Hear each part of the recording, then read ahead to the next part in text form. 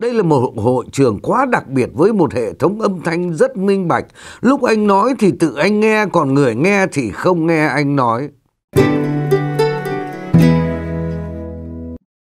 Các bạn thân mến, hôm nay Tiếng Vọng sẽ gửi đến các bạn phần 2 phóng sự tếu táo vui vẻ rất vui của nhà văn Nguyễn Quang Vinh về một kỳ đại hội hội nhà văn lần thứ 10. Kỳ 3 Hội nghị đảng viên Chiều nay thì đông kín tiền sảnh, các đoàn nhà văn đã về hết. Các quán cà phê và bia trong và trước khách sạn La Thành toàn nhà văn ngồi, đọc thơ, tặng sách, chụp ảnh, tưng bừng. 16 giờ họp hội nghị đảng viên. Mình gọi cho anh Hữu Phương thì thầm. Anh làm sao cắp nách em vào được hội nghị này không? Nhìn em có giống đảng viên không? Hữu Phương từ tốn. Ông thậm chí giống đảng viên hơn tôi. Cười khủng khục. Lên gác vào hội trường có chút hồi hộp. Vì nếu ban tổ chức phát hiện ra mình không đảng viên mà vào dự đuổi thẳng cổ về, xấu hổ chết. Nhỉ? Vâng ạ. Hóa ra cửa tự do không soát vé. Nhìn rõ mấy lão không đảng viên còn săng sái đi lại trao hỏi, bắt tay thì thầm, kéo ghế ngồi nghiêm chỉnh hơn cả đảng viên. Hơn ba phần tư đại biểu tóc bạc hoặc nói, hoặc hói, nữ ít, trên bàn chủ tịch anh Hữu Thỉnh đang phát biểu về một vài nội dung gì đó chả ai nghe thấy gì. Chỉ biết chắc chắn là anh Hữu Thỉnh đang nói vì đứng trên bục. Còn âm thanh chủ yếu là các đại biểu nói chuyện dâm gian, nói chuyện say mê, cười thoải mái. Sau đó có ông gì to to lên bục nghe câu được câu chăng đại khái là ca ngợi các nhà văn, ca ngợi những tác phẩm văn chương phục vụ đất nước. Sau đó như quy trình phát triển chúng tôi hy vọng rằng nhiệm kỳ tới sẽ chấm chấm chấm. Phó Chủ tịch Nguyễn Quang Thiều ngồi ở một góc, rụt rè, cố ý thả râu tóc để già hơn tuổi cho xứng danh tân chủ tịch nếu bầu chúng. Mấy nhà văn nữ vừa đi sắm váy về lượn như cá cảnh từ hàng ghế thứ nhất đến hàng ghế 30 trong tư thế rúc rích, liếc xéo hoặc giả vờ nghiêm trang đọc tài liệu. Mình hỏi anh Thiều, nghe đồn ông Trần Tuấn Anh Bộ trưởng Công Thương cũng là hội viên à? Thiều vuốt ria mép gật đầu, đúng rồi, thơ, không thấy tới để hỏi về thủy điện mùa lũ cái nhỉ? Ờ, Thiều cười khùng khục. Đột ngột vang lên tiếng vỗ tay. Mọi người ngơ ngác. Thế họp xong rồi à? Xong rồi. Không quán triệt gì ở hội nghị đảng viên này à? Ai dám quán triệt? Thế họp làm gì? Thì họp thôi. Chứ biết làm gì?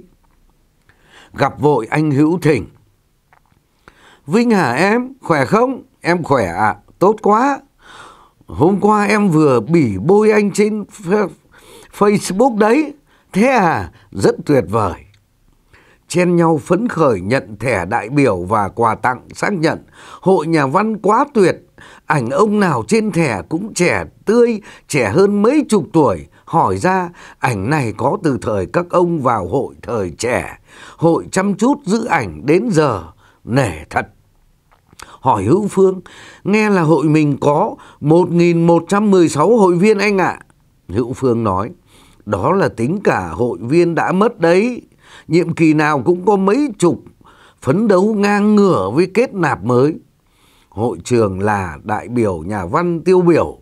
Không có họ, không có văn chương Việt, toàn người nổi tiếng cho nên cách hay nhất là gặp các anh các bác cứ vác chuyện sân khấu ra nói, ai nghe cũng chăm chú. Ai đó nói, giải thưởng nhà nước, giải thưởng Hồ Chí Minh năm nay của hội đề nghị đông nhỉ lại còn xét chán ra. Ông nào chết dễ được, còn thằng sống ngồi đó mà mơ. Gặp cậu nhà văn trẻ mang đống nợ tiền hồi sáng thân thiết hỏi, em ở tỉnh nào? Ờ, ra bia và đọc thơ với các anh các bác nhé. Mới một ngày cậu ta đã khôn hẳn. Không ạ, à, cháu là nhân viên khách sạn. Kỳ 4 Đại hội lần trước có tới 300 ông tự ứng cử, lần này không biết bao nhiêu. Đâu như 8 giờ 30 sáng thì bắt đầu ngày đại hội chính thức thứ nhất. Nói đâu, đâu như theo cách đoán mò vì trong hội trường và ngoài tiền sảnh đông và rộn ràng giống nhau.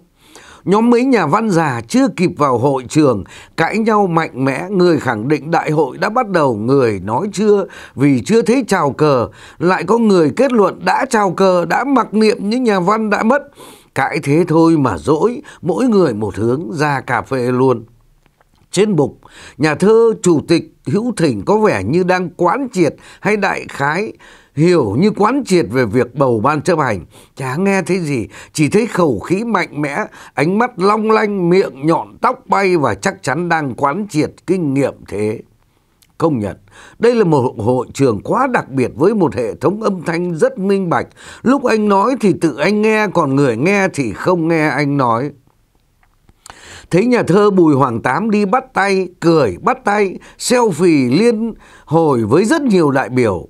Mình và nhà thơ Trần Đăng chặn lại, định gây dấu ấn kiếm phiếu vào ban chấp hành đấy à.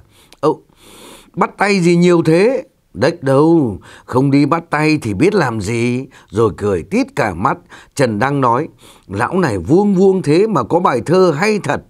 Đi ăn cưới vợ cũ. Tớ đọc cho mà nghe. Vợ cũ mặc rất đẹp, nhìn thấy chạy ra chào. Chồng mới của vợ cũ ra tận nơi đón vào. Ôi cuộc tình rổ giá mà cười vui bất ngờ. Mọi người tranh nhau hát mình cũng lên đọc thơ. Trong làn khói lơ mơ mình ghé tai hỏi vợ. Nếu cuộc tình này vỡ mình có mời anh không? Đấy là thơ Bùi Hoàng Tám. Bầu lần một là ứng cử, đề cử ban chấp hành. Trần Đăng nói tôi đề cử ông nhé. Mình trợn mắt. Tao vả mày gãy răng. Đăng cười. Hai thằng đang tâm sự về con cái thì bỗng một đại biểu già xô đến. Tại sao lại thế được? Mọi người không nhận thức rõ trên chỉ nói không để chủ tịch, phó chủ tịch ngoài 70 tuổi thôi, chứ ủy viên ban chấp hành thì 70 tuổi trở lên vẫn được đề cử, ứng cử chứ, đúng không? Quá 60% đại biểu trên 70 tuổi, không có người đại diện à? Mà tớ học sau ông Trọng một khóa thôi đấy nhé, đùa với tớ à? Đang nói thầm, lão này say rồi, tránh xa thôi. Trong hội trường, mấy bảng chữ ghi vị trí ngồi của các đoàn đại biểu từ các địa phương còn trên thực tế thì ai ngồi đâu cũng được miễn còn ghế.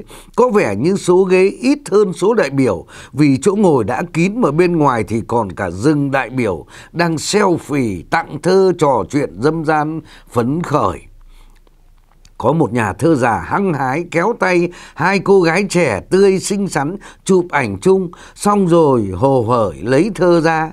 Cái em tên gì nào ở đoàn nhà văn nào để anh tặng tập thơ thứ 46 của anh nhé. Hội viên tỉnh nào mà trẻ xinh thế một cô bẽn lén. Bác ơi, chúng cháu là nhân viên phục vụ hội nghị. Tiếp thị bán bóng đèn tiết kiệm điện bên này à. Các góc, một số nhà văn đang trả lời phỏng vấn báo chí, tiếng một bác già cúi rất sát vào mic. Tôi cho rằng việc anh Hữu Thỉnh xin rút đã làm tôi rất xúc động. Đáng ra anh rút từ mấy khóa trước thì tôi sẽ còn xúc động hơn. Nhưng nếu không có anh Hữu Thỉnh thì ai sẽ đủ sức làm chủ tịch. Cho nên chúng tôi vẫn muốn bầu anh ấy. Phóng viên, bác nói rõ quan điểm chút ạ. Rõ rồi đấy, Hữu Thỉnh nên rút, đã rút, cần rút sớm hơn, nhưng cũng nên tiếp tục làm. Trần Đăng ghé tai tôi. Lão đang trả lời phỏng vấn chắc chuyên viết trường ca. Mấy ông trường đoàn đại biểu các tỉnh là rất khổ, vất vả ngược xuôi như cảnh sát giao thông giờ cao điểm, trên tay một tệp phiếu bầu, đi tìm gọi điện dí vào tay từng người trong đoàn phiếu bầu, xong hướng dẫn, hướng dẫn và hướng dẫn. Không khí bận rộn tắc đường, có hai đại biểu hỏi mọi người, thế đại biểu Hà Nội cũng phải được đại hội cho tí gì chứ nhỉ? Tiền ăn đó bác, bao nhiêu? Nhà văn bao Bảo Ninh bao năm nay vẫn thế, mặc định một đống rơm tóc gật gật, ai hỏi gì cũng gật, không hỏi cũng gật, ánh mắt nheo nheo, mình hỏi năm nay anh bao nhiêu tuổi nhỉ? Bảo Ninh nói 75. Ông bên cạnh nói, ông nói phét, ông sinh 1952, Bảo Ninh lại gật gật. Thế à? Một đại biểu đi tìm nhà văn Chu Lai gặp ai cũng hỏi Chu Lai đâu chuẩn bị tham luận. Một đại biểu nhanh nhẩu anh Chu Lai không dự, anh ấy không được bầu đi đại hội. Thế à? Bớt đi một phát biểu dịu nhẹ, thiết tha về hình tượng những người đàn bà trong chiến tranh nhỉ. Nhà thơ nữ xinh đẹp gặp các bạn thơ ở sảnh reo lên. Ôi các chị, em phát hiện có một chỗ bắn váy đẹp cực. Thế à? Thế à? Chờ bầu xong rồi váy cái nhỉ? Nhà văn Nguyễn Khắc Phê kéo tôi sát góc hội trường nghiêm trọng báo. Này Vinh, chiều qua cậu đã tự ý vào họp với đảng viên, xong còn khoe trên phây là thế nào? Có ai tố hả anh? Tại sao có hội nghị này làm gì nhỉ? Mất thời gian mà miền Trung dứt khoát phải có một đại diện ban chấp hành em nhé. Bầu ai anh? Tao biết đâu. Phiếu ứng cử đề cử quốc đại biểu về danh sách bầu ban chấp hành đã cho vào hòm phiếu. Trần Đăng nói, chiều mới bầu được, đại hội trước tao ở ban kiểm phiếu suýt chết. Có tới 300 ông tự ứng cử ban chấp hành đấy, lần này không biết bao nhiêu. Đói quá, mình nói với hai nhà văn nữ đoàn Quảng Bình, anh về ăn cơm đây, đói. Ôi anh ơi, còn đề cử, ban kiểm tra nữa, kệ, đề cử giúp anh nhé.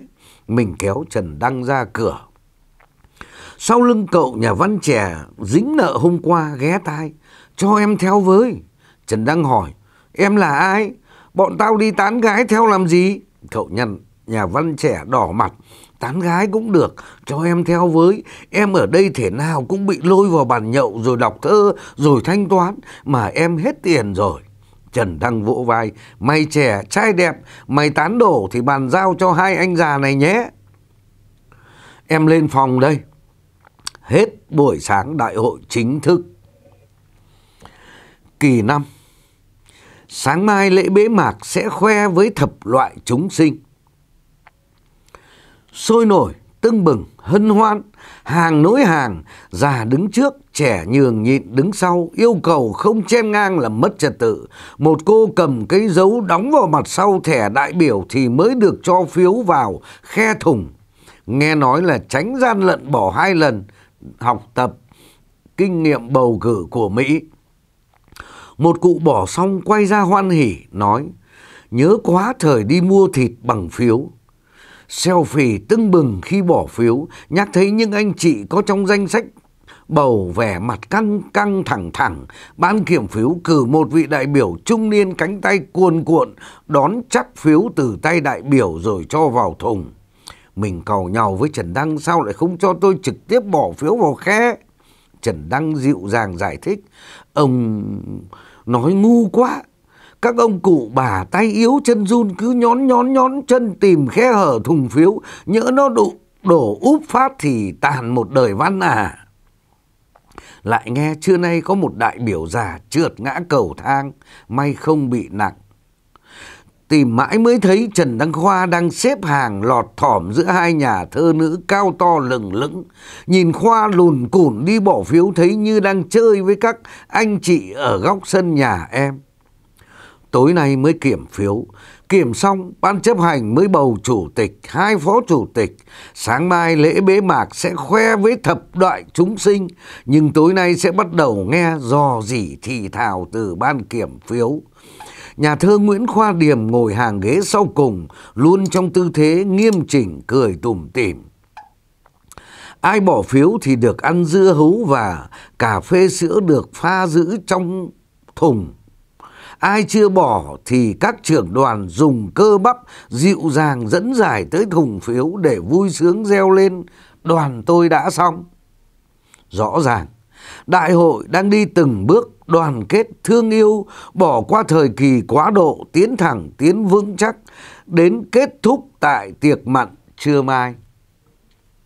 Vâng, thưa các bạn, đấy là phóng sự vui vẻ của nhà văn Nguyễn Quang Vinh, trưởng thôn Khoai Lang à, ông đã đăng bài này lên một năm rồi thế nhưng mà tôi mới được tiếp cận thì cũng có chắc các bạn cũng đã biết thì một năm qua là chủ tịch mới là nhà văn Nguyễn Quang Thiều và phó chủ tịch thường trực hay là một phó chủ tịch quen tên là nhà thơ Trần Đăng Khoa. À, tôi cũng đều có dịp cà phê với ờ, cả hai anh chàng hình như sinh năm năm 7, năm 8 thì trẻ trung, họ là những người rất thông minh và dễ mến. Ừ, sẽ là một cái gương mặt ờ, khác hẳn với Chủ tịch Hữu Thỉnh, một người ngồi tồn tại ở ghế Chủ tịch Hội Nhà văn hơi lâu như trong bài ờ, nhà văn ờ, Nguyễn Quang Vinh đã nói. Xin cảm ơn các bạn đã chú ý lắng nghe.